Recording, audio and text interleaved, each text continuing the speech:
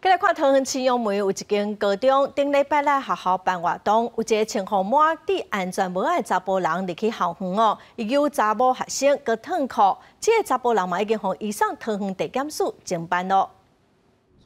学校正常上课，伫桃园因为区这间高中顶礼拜六举办高中生体验活动，毕业课程练习的时阵，传出一个穿雨衫、戴全戴式安全帽的二十七岁查甫人，顺势进入学校秘伫楼梯间，对女同学卡来手来，再行依照强制威胁罪，移请桃园地检署侦办，现法目前已经做到羁押。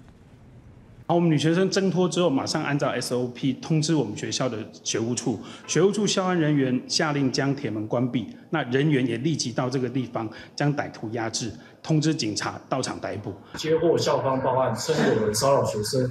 警方立即前往，并由校方陪同查获犯嫌，